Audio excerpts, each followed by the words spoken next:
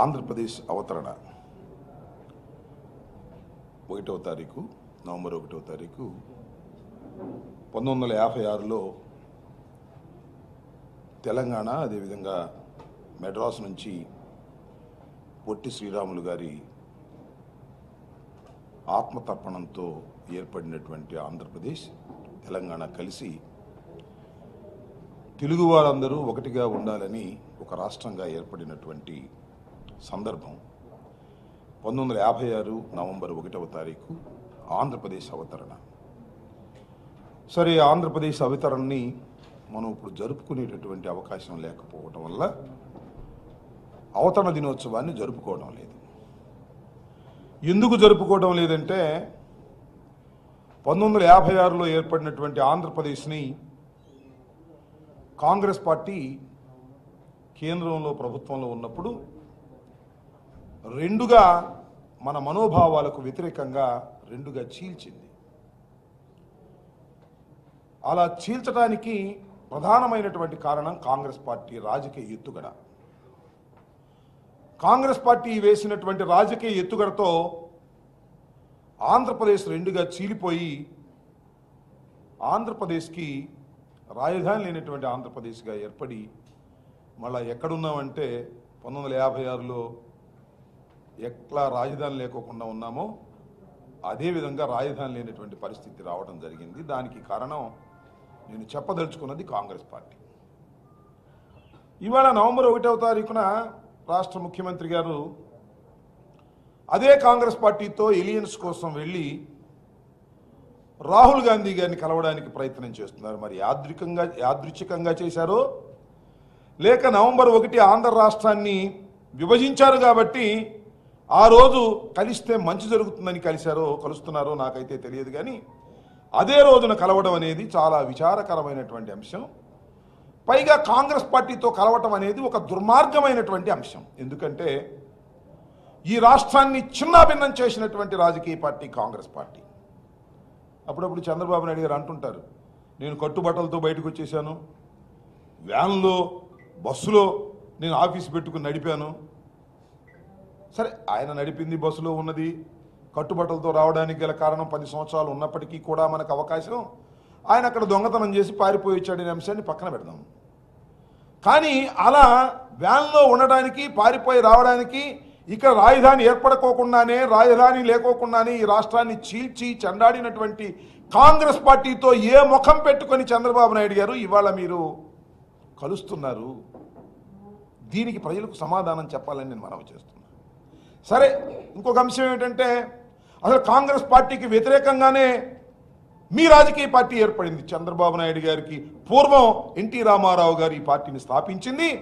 ఈ దేశం నుంచి కాంగ్రెస్ పార్టీని పారదోలుతాను కాంగ్రెస్ పార్టీ దుర్మార్గమైనటువంటి రాజకీయ పార్టీ అని ప్రారంభించినటువంటి రాజకీయ పార్టీని సరే అటు తిప్పి ఇటు తిప్పి చివరికి మీరు కాంగ్రెస్ పార్టీతోనే కలిసి రాజకీయాల్లోకి వెళ్ళాలని వాళ్ళని నిర్ణయించుకోవడం అనేది కొద్దిగా ఆశ్చర్యం కలిగినా చంద్రబాబు నాయుడు గారి నైజం తెలిసిన వారు ఎవరు పెద్దగా ఆశ్చర్యపోయేటటువంటి అవకాశం లేదు. ఎందుకంటే చంద్రబాబు నాయుడు గారి జీవిత చరిత్ర అంతా అంతే. మీకు ఒకసారి గుర్తు చేస్తా. ఎన్టీ రామారావు గారు పార్టీ పెట్టినప్పుడు చంద్రబాబు నాయుడు గారు కాంగ్రెస్ పార్టీలో ఉన్నారు. ఆ రోజున చంద్రబాబు నాయుడు గారిని మీలాగానే పత్రికా విలేకరులు ఏమండి? చంద్రబాబు నాయుడు గారు మీ మామగారు పార్టీ పెట్టారు కదా ఆ పార్టీలోకి వెళతారా అంటే నేను అలా వెళ్ళేటటువంటి మనిషిని కాదు. ఇందిరాగాంధీ ఆదేశిస్తే మా మామగారి మీద కూడా కాంగ్రెస్ పార్టీ తరపున పోటీ చేసి పోరాడతాను అని చెప్పాడు. సీన్ కట్ చేస్తే ఎన్టీ రామారావు గారు రాజకీయ పార్టీ అత్యధిక మెజారిటీతో గెలిస్తే దొడ్డి దోవన ప్రవేశించి తెలుగుదేశం పార్టీలో కీలకమైన భూమికను పోషించాడు. మంచిదే. మీ మామగారి పార్టీలో చేరారు. కీలకమైన భూమికను పోషించారు. పోషించటమే కాదు దేవుడు అన్నారు. ఇదే ఎన్టీ రామారావు గారిని దేవుడని వెన్నుపోటు పొడిచారు ఆయన దించారు ఆయన సీటు లాక్కున్నారు. ఎన్టీ రామారావుకు నైతిక విలువలు లేవని చెప్పినటువంటి వ్యక్తే ఈరోజు చంద్రబాబు నాయుడు గారని మనం చేస్తున్నాం. అంతేకాదు మోడీ గారు గుజరాత్లో ఒక సంఘటన జరిగినప్పుడు మోడీని అరెస్ట్ చేయాలని డిమాండ్ చేశాడు. ఆంధ్రప్రదేశ్కి వస్తే అరెస్ట్ చేస్తానన్నాడు. అదే మోడీ గారితో జత కట్టావు నాయన చంద్రబాబు నాయుడు గారు. మోడీ గారితో జత కట్టి మోడీ బాబు జోడీ ఈ రాష్ట్రానికి అవసరం. దేశ రాజకీయాల్లో ఇది కీలకమైన పరిణామం. దేశ రాజకీయాల అవసరం కోసం నేను మోడీని కలుస్తున్నాను తప్ప నాకేమీ మోడీతో కలవాలని లేదు. బీ- భారతీయ జనతా పార్టీతో కలవాలని లేదని చెప్పినటువంటి మహానుభావుడివి. అదే మోడీ జోడీ బ్రహ్మాండంగా ఉందని చెప్పినటువంటి వ్యక్తివి. అదే మోడీ గారు బ్రహ్మాండంగా పరిపాలన చేస్తున్నాడు. భారతీయ జనతా పార్టీ అద్భుతంగా పరిపాలన చేస్తుందని చెప్పినటువంటి చంద్రబాబు నాయుడు గారు ఇవాళ మాట్లాడుతున్నారు. సరే తెలుగుదేశం భారతీయ జనతా పార్టీకి మధ్యన సంబంధ బాంధవ్యాలు ఎలా పెరిగాయో ఎలా చెడిపోయాయో మాకు తెలియదు కానీ మళ్ళీ ఇవాళ భారతీయ జనతా పార్టీ మీద నిప్పులు జరుగుతూ ఉన్నారు. ఇవాళ పత్రికల్లో చూసా వారికి ప్రియమైన పత్రికలో కేంద్ర ప్రభుత్వం వ్యవస్థల్ని నీరు గారుస్తూ ఉన్నది. కేంద్ర ప్రభుత్వం వ్యవస్థలను నీరు గారుస్తూ ఉంది. మరి మీ ప్రభుత్వం అయ్యా? మీరు పాలు గారుస్తున్నారా? మీరు ఈ వ్యవస్థల్ని ఎంత సర్వనాశనం చేశారో చెప్పమని అడుగుతా ఉన్నా. ఏ వ్యవస్థను బతకనిచ్చారు ఈ రాష్ట్రంలో? ఎంఆర్ఓని కొడతారా? ఐపీఎస్ ఆఫీసర్ మీద దౌర్జన్యం చేస్తారా? పోలీస్ ఆఫీసర్లు మీ ఇష్టం వచ్చినట్టుగా ప్రవర్తన చేస్తారా? పక్క రాష్ట్రానికి వెళ్ళి డబ్బులు పంచే కార్యక్రమాలు పోలీస్ వ్యవస్థ చేస్తుందంటే ఉగ్రవాదులు పట్టుకోవడానికో శాంతి భద్రత కాపాడటానికి ప్రయత్నం చేయవలసినటువంటి ఇంటెలిజెన్సీ డిపార్ట్మెంటు మీ రాజకీయ పార్టీని బతుకుతుందా చస్తుందా పెరుగుతుందా పెరగదా గెలుస్తుందా గెలవదా గెలవడానికి ఎలా డబ్బులు పంచాలని వ్యవస్థల్ని ఇంత దౌర్భాగ్యంగా ఉపయోగించుకుంటున్నటువంటి ఓ నారా చంద్రబాబు నాయుడు గారు మీరు మరొక వ్యవస్థల గురించి మాట్లాడే నైతిక హక్కు మీకు ఉన్నదా నేను అడుగుతా ఉన్నా. ఎంత బాధ అంటే ఎంత విచిత్రం అంటే ఇదే చంద్రబాబు నాయుడు గారు ఐదు సంవత్సరాల క్రితం ఏం మాట్లాడారు చంద్రబాబు నాయుడు గారు? కాంగ్రెస్ గురించి? కాంగ్రెస్ తల్లి కాంగ్రెస్ మాది పిల్ల కాంగ్రెస్ కొట్టావు? అన్ని టీవీల్లో అన్ని పత్రికల్లో తల్లి కాంగ్రెస్ పిల్ల కాంగ్రెస్ తల్లి కాంగ్రెస్ పిల్ల కాంగ్రెస్ ఏమైపోయింది మళ్ళా? తల్లి కాంగ్రెస్కి నువ్వు కావాల్సి వచ్చిందా పిల్ల కాంగ్రెస్కి? మమ్మల్ని పోయాడు. అప్పుడు మోడీ గారి చెంతన ఉన్నాడు కాబట్టి మేము కాంగ్రెస్లో ఉన్నట్టు. ఇప్పుడు కాంగ్రెస్లోకి ఆయన వెళుతున్నాడు కాబట్టి మేము మోడీ గారితో కుమ్మక్కయ్యామంట. అప్పుడు మోడీ ఇప్పుడు మోడీ గారితో కుమ్మపు కాలేదు. అప్పుడు ఆ తల్లి కాంగ్రెస్కు మేము పిల్ల కాంగ్రెస్ కాదు. అయితే ఆయన మోడీతో ఉంటే మేము కాంగ్రెస్. ఆయన కాంగ్రెస్తో ఉంటే మేము మోడీ. మేము ఖాళీగా ఉండటానికి వీల్లేదు మేము ఒంటరిగా పోటీ చేయడానికి వీలు లేదు. ఏమయ్యా చంద్రబాబు నాయుడు గారు? కాంగ్రెస్ పార్టీతో మేము ఎప్పుడైనా కలిసి పోటీ చేసామా పార్టీ ఏర్పడిన తర్వాత? పోనీ భవిష్యత్తులో మోడీతో కలిసి పోటీ చేసే అవకాశం మాకున్నదా? మేము మేము ఆలోచనలో ఉన్నాం. ఇదేం కాదు. మోడీతో కుమ్మక్కయ్యారు మోడీతో కుమ్మక్కయ్యారు మోడీ జగన్ రెడ్డి. భారతీయ జనతా పార్టీ అంటే భారతీయ జగన్ పార్టీ. ఇలాంటి బ్రాండింగ్లు చేసేటటువంటి కార్యక్రమం దౌర్భాగ్యమైన కుట్రపూరితమైనటువంటి రాజకీయాలు చేస్తున్నటువంటి వ్యక్తి నారా చంద్రబాబు నాయుడు గారిని మనం చేస్తున్నాం. ఎందుకంటే మీ పార్టీ మీ ఇష్టం అయ్యా మాకేం అభ్యంతరం లేదు. ఎవరితో అయినా మీరు కలవండి. కానీ ఒక నైతిక విలువలు అనే విషయాన్ని మీరు మర్చిపోయి ప్రవర్తిస్తున్నారు. అదేమంటే భావితరాల కోసం భావితరాల భవిష్యత్తు కోసం భావితరాల భవిష్యత్తు కోసం ప్రజాస్వామ్య అత్యవసర పరిస్థితి ఏర్పడిందట. డెమోక్రసీ కంపల్షన్ వచ్చిందట. అందువల్ల దేశ రాజకీయాల్లో ఈయన కీలక పాత్ర పోషిస్తాడట. ఉట్టికెక్కలేనమ్మ స్వర్గానికి ఎక్కిందట. దేశ రాజకీయాల. అసలు నీ రాజకీయాలు ఏంటి? ఆంధ్ర రాష్ట్రంలో నేను అడుగుతా ఉన్నా. మళ్ళీ తిరిగి నువ్వు అధికారంలోకి వచ్చేటటువంటి అవకాశం ఉన్నదా? ఒకసారి ఆలోచన చేసుకోమని మనం చేస్తున్నా. అన్ని సర్వేలు చెప్తున్నాయి. జాతీయ సర్వేలు చెప్తున్నాయి.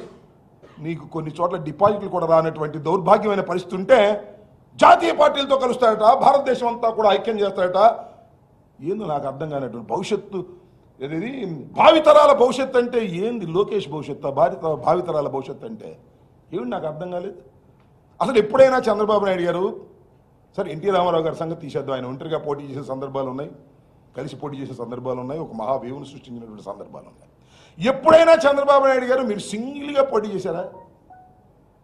ఎప్పుడు ఎవరో ఒకరితో కలవడమే పోయినసారి మోడీ కావాలి పవన్ కావాలి. ఇవాళ వాళ్ళొద్దు మళ్ళీ రాహుల్ కావాలి. నాకు అడుగుతున్నా తెలియక అడుగుతా ఎందుకయ్యా ఢిల్లీ వెళ్ళావు? నూట పంతొమ్మిది సీట్లు పదమూడు సీట్ల కోసం కక్కుర్తిపడి వెళ్ళావు పదమూడు సీట్లు తెలంగాణలో. నీ బ్రతుకంతా అంతే. పదమూడు సీట్ల కోసం నువ్వు ఇవాళ వెళ్ళి అక్కడ కూర్చున్నావు. ఆంధ్రప్రదేశ్లో తెలుగుదేశం పార్టీ వారు కాంగ్రెస్ పార్టీకి ఇంకో పదమూడో పదిహేను ఇస్తారు. ఇదే కదా మీ లాలుచి గుర్రం? ఎవరిని ఎవరి కోసం మీరు మమ్మల్ని ఓడించాలని? కేవలం ఐదు లక్షల ఓట్ల తేడాతో మేము పోయినసారి అధికారం కోల్పోయాం. మళ్ళీ అప్పుడేమో మోడీ గారు పవన్ గారు నీకు చెరువు అయిపోయిన సంఖలో కర్రలేసుకుని నువ్వు నడిచావు. ఇవాళ మళ్ళా రాహుల్ గాంధీ కావాల్సి వచ్చింది. రాహుల్ గాంధీని భుజాన వేసుకుంటే తప్ప నువ్వు గెలవనని భయం.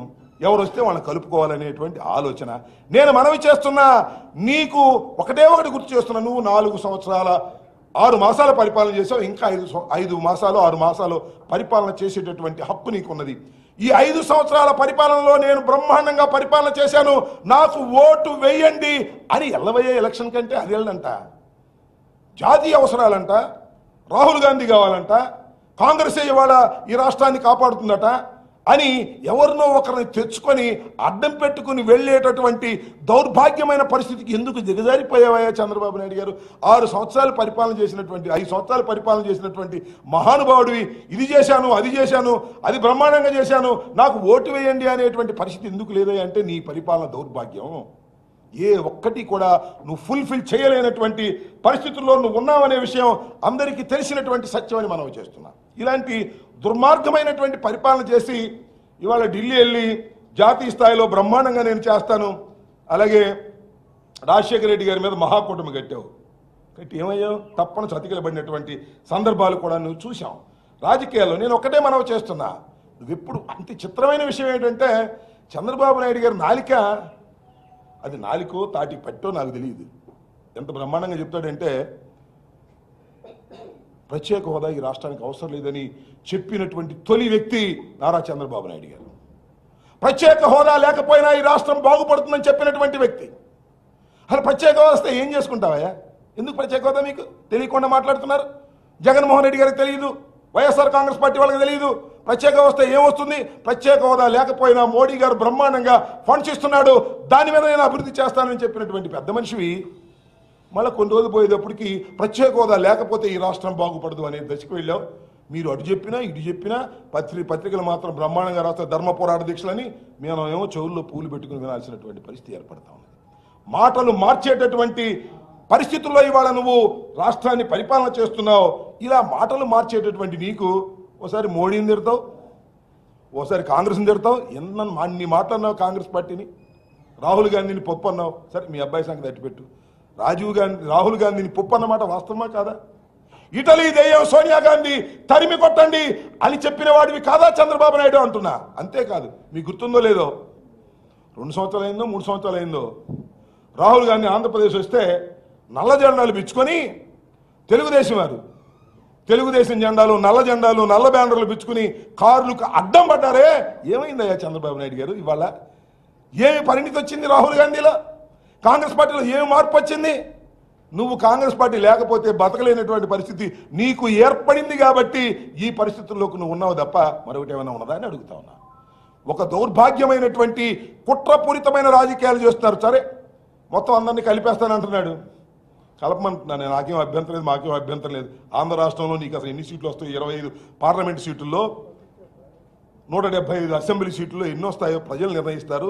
నువ్వు దేశ రాజకీయాల సంఘం తర్వాత నీ రాజకీయాల గురించి నువ్వు ఆలోచించే దశలో కూడా నువ్వు లేనటువంటి పరిస్థితి ఏర్పడింది. ఇక్కడ ఏ విధమైనటువంటి అభివృద్ధి కార్యక్రమాలు చేయనటువంటి దశలో ఇవాళ నువ్వు వెళ్ళి దేశ రాజకీయాల్లో పాల్గొంటావు అది నీ ఇష్టం మాకు మాకేం అభ్యంతరం లేదు. కానీ నేను మనవి చేస్తున్నాను అయ్యా చంద్రబాబు నాయుడిని నమ్మి బాగుపడ్డవాడు ఎవడూ లేడు.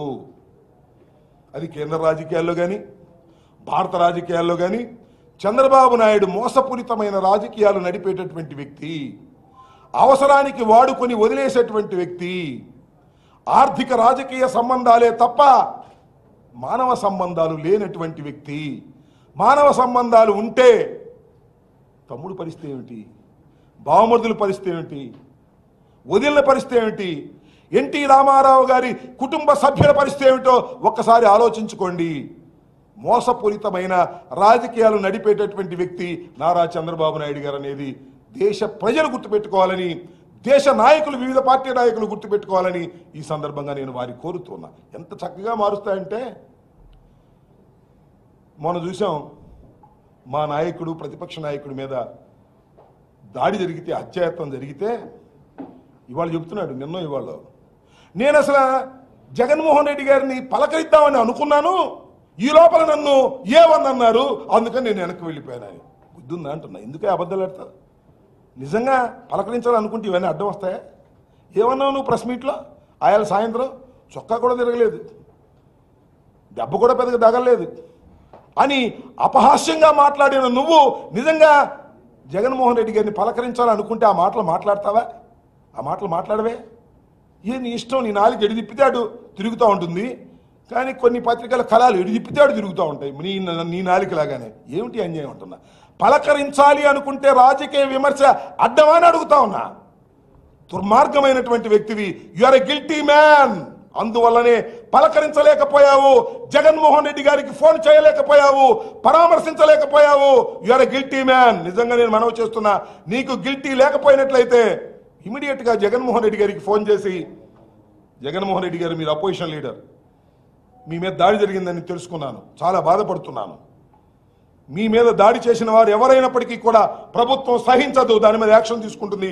మీరు డోంట్ వర్రీ అని చెప్పవలసినటువంటి సభానాయకుడివి చెప్పకోకుండా డీజీపీ రంగప్రవేశం చేస్తావా? డీజీపీకి ఏమి సంబంధం? మైక్ అంటున్నా. డీపీ డీజీపీకి ఏమి సంబంధం? మీడియా అంటున్నా.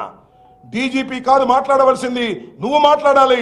నువ్వు మాట్లాడుకోకుండా డీజీపీని ఫస్ట్ డ్రెస్ వేసి డీజీపీని మైక్ ముందుకు వదిలేవంటే ఏమిటి అన్యాయం అంటున్నా?